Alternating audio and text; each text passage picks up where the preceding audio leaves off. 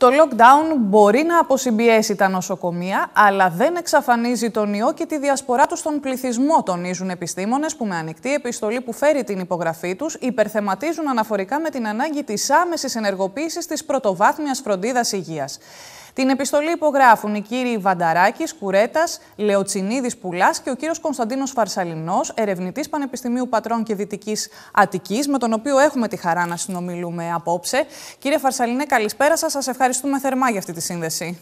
Καλησπέρα και καλησπέρα στους τηλεθεατές Και είναι γεγονός, κύριε Φαρσαλινέ, ότι τα νοσοκομεία είναι αδύνατο να σηκώσουν τόσο μεγάλο όγκο νοσούντων. Δεν έχουν ούτε την υποδομή, τη σχετική υποδομή, αλλά ούτε και το ανθρώπινο δυναμικό. Αυτό είναι ξεκάθαρο και δεν το μάθαμε τώρα, το ξέρουμε από την αρχή. Ε, μας το παρουσίασαν οι Ιταλοί ε, από το πάθημα το οποίο πήραν στο πρώτο κύμα. Ε, απλά εμείς δεν χρειάστηκε να το δούμε στο πρώτο κύμα, διότι το διακόψαμε πολύ σύντομα και ήταν πολύ μικρό ε, σε έκταση και σε διάρκεια, ε, με ένα παραταμένο βέβαια lockdown, το οποίο τελικά ε, ήταν μια πρώιμη επιτυχία, το τίμημα της οποίας πληρώνουμε και τώρα, διότι φαίνεται ότι καθυστερήσαμε φυσικά ε, κάποιους θανάτους, αλλά δεν τους αποφύγαμε διότι τους, ε, ε, τους έχουμε τώρα μπροστά μας και μάλιστα ε, πολλαπλάσιους θα έλεγα σε σχέση με το πρώτο κύμα. Ε, το ζήτημα είναι ποια είναι η λύση, ξέρετε, διότι ακόμα και αν αποδεχθούμε ότι το lockdown θα μπορούσε να είναι μια ε, έσχατη λύση, μάλλον ένα έσχατο μέτρο σε περίπτωση που ξεφύγει η κατάσταση, το ζήτημα είναι ότι ε, εδώ στην Ελλάδα φαίνεται ότι θα χρησιμοποιήσουμε το lockdown ως τη μοναδική λύση και τη μοναδική τακτική και εκεί διαφωνούμε. Ε, βέβαια, το ζήτημα της πρωτοβάθμια φροντίδας υγείας έχει τεθεί από το πρώτο κύμα. Και είναι ξεκάθαρο. Δεν υπάρχει περίπτωση πανδημία σε τέτοιο μέγεθος να μπορέσει να αντιμετωπιστεί από νοσοκομεία οποιασδήποτε χώρα στον κόσμο. Επαρκούσε, κύριε Φαρσαλινέ, το μεσοδιάστημα που μεσολάβησε αυτό των 8 μηνών. Και αν δεν είναι 8 μήνες, ας το ρίξουμε στους 6. Μέσα σε αυτούς τους 6 μήνες δεν θα μπορούσε να ενισχυθεί επί της ουσίας η πρωτοβάθμια φροντίδα υγείας; Η πρωτοβάθμια φροντίδα υγείας περισσότερο χρειάζεται να ενεργοποιηθεί και όχι να ενισχυθεί. Ε, το ζήτημα είναι, ξέρετε, ότι η, η όλη συζήτηση έχει παραμείνει στην, ε, στις καινούργιες ΜΕΘ, στην οργάνωση των νοσοκομείων, αλλά είναι δεδομένο ότι μια πανδημία η οποία έχουμε τη μεγαλύτερη πλειοψηφία, τη συντριπτική πλειοψηφία του πληθυσμού, ε, επίνωση δηλαδή, ε, ευαίσθηση στο να προσβληθεί από τον ιό, δεν μπορεί να αντιμετωπιστεί στη δευτεροβάθμια και τριτοβάθμια φροντίδα υγείας.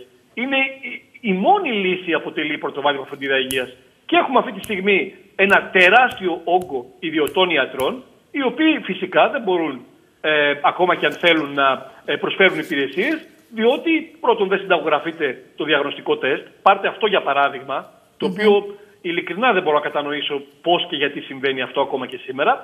Δεύτερον, υπάρχει δαμόκλειο πάθη της ποινικοποίησης ε, της μετάδοσης, το οποίο αφορά και τους γιατρούς θα μπορούσαν ανα πάσα στιγμή να είναι κατηγορούμενοι και να γίνεται εισαγγελική έρευνα γιατί μετέδωσαν τον ιό κάπου αλλού ή κάποιος άλλος ασθενής ε, προσβλήθηκε από τον ιό. Και πολλά άλλα ζητήματα τα οποία ε, φαίνεται ότι έχουμε βάλει τελείως στην άκρη την πρωτοβάθμια φωτεινά υγεία. Ακόμα ξέρετε και η έγκαιρη διάγνωση των ασθενών οι οποίοι ε, ε, εμφανίζουν επιδείνωση της νόσου ώστε να πάνε ε, έγκαιρα στα νοσοκομεία, ακόμα και αυτό το οποίο είναι ζήτημα ε, ανθρωπίνων ζώων, το χάνουμε, ξέρετε, και το χάνουμε δεν υπάρχει πρωτοβάθμια φροντίδα υγείας για να παρακολουθεί ε, συστηματικά τους ε, ασθενείς αυτούς. Κύριε Φαρσαλινέ, τώρα σε κάτι διαφορετικό. Μπορούμε να βγάλουμε συμπεράσματα για τη θνητότητα σε ό,τι αφορά το δεύτερο κύμα της πανδημίας; Υπάρχουν καταρχάς διαφοροποιήσεις ως προς αυτή την παράμετρο ή είναι κάτι που δεν μπορούμε να το γνωρίζουμε τώρα στη δεύτερη φάση; Κοιτάξτε, για να ξεκαθαρίσουμε λίγο τους ορισμούς για να μην μπερδεύονται και οι τηλεθεατές, υπάρχει θνητότητα και θνησιμότητα. Σωστά. Θνησιμότητα σημαίνει πόσους θανάτους έχουμε στο σύνολο του πληθυσμού ή για κάποια πληθυσμιακή μονάδα, συνήθως ανά 100.000 ή ανά ένα εκατομμύριο. Η θνητότητα αφορά το ποσοστό εκείνων που προσβάλλονται από τον ιό, οι οποίοι ε, πεθαίνουν. Είναι δύο διαφορετικά πράγματα. Ω προς τη θνησιμότητα, δηλαδή τον αριθμό των θανάτων ανά εκατομμύριο, στο δεύτερο κύμα έχουμε σαφώς περισσότερους, διότι απλά αυτούς που γλιτώσαμε στο πρώτο mm τους έχουμε στο δεύτερο. Όσον αφορά τη θνητότητα, δηλαδή το ποσοστό επί των προσβεβλημένων που πεθαίνει, νομίζω ότι τα στοιχεία είναι ε, λίγο πολύ σε συμφωνία και είναι ξεκάθαρα ότι έχουμε ε, μια ε, αρκετά υψηλή ως πολύ υψηλή θνητότητα στους ηλικιωμένους και τις ομάδες με σοβαρές συνοτησιρότητες, με κυρίαρχους τους, ε, ε, εκείνους που ζουν σε γυροκομεία, διότι όπως καταλαβαίνετε είναι ηλικιωμένοι, με πολλές συνοσυρότητες και ταυτόχρονα συγχρονισμένοι σε ε, κλειστό περιορισμένο χώρο. Αλλά έχουμε πάρα πολύ χαμηλότερη θνητότητα, ε, της τάξης του κάτω του ε, ίσως ενός στους ε, χίλιους, αρκετά κάτω από ένα στους χίλιους, σε νεότερες πληθυσμιακές ομάδες και όσο νεότερος είναι κάποιος και υγιής, τόσο χαμηλότερη είναι ακόμα η θνητότητα. Όμως το πρόβλημα, ξέρετε, στα νοσοκομεία και ο λόγος για τον οποίο δεν μπορούν να αντιμετωπίσουν τα νοσοκομεία το ζήτημα είναι η μάζα, ο μεγάλος αριθμός που μπορεί να προσβληθεί πολύ σύντομα. Και όπως καταλαβαίνετε, η μεγάλη πλειοψηφία δεν θα χρειαστεί νοσηλεία, αλλά βλέπετε κι εσείς ότι σε πολλά σημεία της χώρας έχουμε ουρές στα εφημερεύοντα νοσοκομεία για διαγνωστικό έλεγχο ατόμων που οι περισσότεροι από ό,τι φαίνεται είναι περιπατητικοί, άρα δεν χρήζουν νοσοκομιακής φροντίδας. Τώρα, ακούμε περί ενθαρρυντικών ενδείξεων σε ό,τι αφορά την εξέλιξη της πανδημίας στην Αττική, ε, διότι από την ανάλυση των λιμάτων στην Ψιτάλια οι επιστήμονες διαπιστώνουν σταδιακή ύφεση του υλικού φορτίου. Και θέλω λίγο να μας εξηγήσετε τι σημαίνει αυτό και πού οφείλεται. Ναι, αυτό σημαίνει ότι ε, πιθανότατα έχουμε ε, ελάττωση του υλικού φορτίου, το οποίο βέβαια έχει συμβεί προ του lockdown. Διότι η Αττική μπήκε το Σάββατο σε, σε lockdown. Δεν αναμένουμε από το lockdown να δούμε ακόμα ελάττωση των ε, περιστατικών, πόσο μάλλον των θανάτων, οι οποίοι καθυστερούν συνήθως ε, τρεις εβδομάδες το λιγότερο. Αυτό πότε θα το δούμε, μέρες. σε 10-15 μέρες; Για τους θανάτους θα το δούμε μετά τις 30 Νοεμβρίου.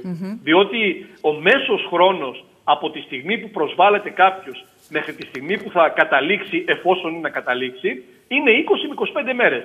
Άρα καταλαβαίνετε και, και στις 30 Νοεμβρίου θα έχουμε θανάτους από, από ασθενείς που προσβλήθηκαν ε, πριν από τις 10 Νοεμβρίου, άρα πριν από το lockdown. Ε, γι' αυτό και ήταν μάλλον ε, αναμενόμενο ότι δεν πρόκειται να ε, υπήρξε άρση του lockdown στις 30 Νοεμβρίου, διότι φαντάζομαι ότι οι αρχές δεν θέλουν να άρουν το lockdown ενώ έχουμε ακόμα υψηλό αριθμό θανάτων. Τώρα, αναφορικά με το εμβόλιο, επειδή πολλής λόγος γίνεται, ας υποθέσουμε ότι αύριο το έχουμε στην αγορά, ότι κυκλοφορεί. Πόσο βέβαιοι μπορούμε να είμαστε για την αποτελεσματικότητά του; Ε, για το εμβόλιο και θα μιλήσω με βάση μια, ένα δελτίο τύπου έτσι, και τις φάσεις δύο μελέτες, διότι και κανονικά επιστήμη με δελτία τύπου δεν γίνεται, αλλά θα περιμένουμε να δούμε την, ε, ε την ε, δημοσίευση μελέτης και καλή την πίστη ότι τα στοιχεία της εταιρείας είναι πραγματικά αληθή και αυτό πιστεύω ειλικρινά. Ε, υπάρχουν, υπάρχει μια αισιοδοξία, η οποία όμως θα πρέπει να είναι πολύ πιο συγκρατημένη από ό,τι παρουσιάζεται ε, τις τελευταίες ημέρες. Γιατί πρώτον, είναι πάρα πολλά τα άγνωστα πράγματα τα οποία δεν θα μπορέσουμε και ίσως να μάθουμε από αυτή τη μελέτη, ακόμα και όταν δημοσιευτεί. Για παράδειγμα, το ποσοστό, το μέγεθος της ανοσίας και η διάρκεια της. Δεύτερον, η, η ανοσία πώς μεταβάλλεται σε διαφορετικές πληθυσμιακές ομάδες. Mm-hmm. Όπως καταλαβαίνετε, ένας ηλικιωμένος και, ένα, και άτομα με συνοσυρότητες χρειάζονται πολύ περισσότερο την ανοσία του εμβολίου. Αλλά συνήθως έχουν λιγότερη αποτελεσματικότητα τα εμβόλια σε αυτές τις ομάδες. Επίσης, ένα άλλο ζήτημα είναι αν θα χρειαστούμε συχνούς επανεμβολιασμούς.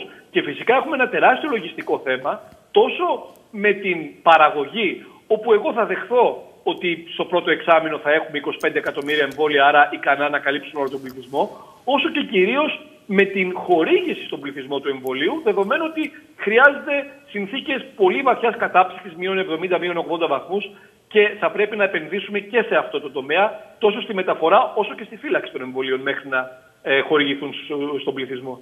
Μάλιστα. Κύριε Φαρσαλινέ, σας ευχαριστώ θερμά για το χρόνο που μας διαθέσατε. Να είστε καλά, ευχαριστώ πολύ.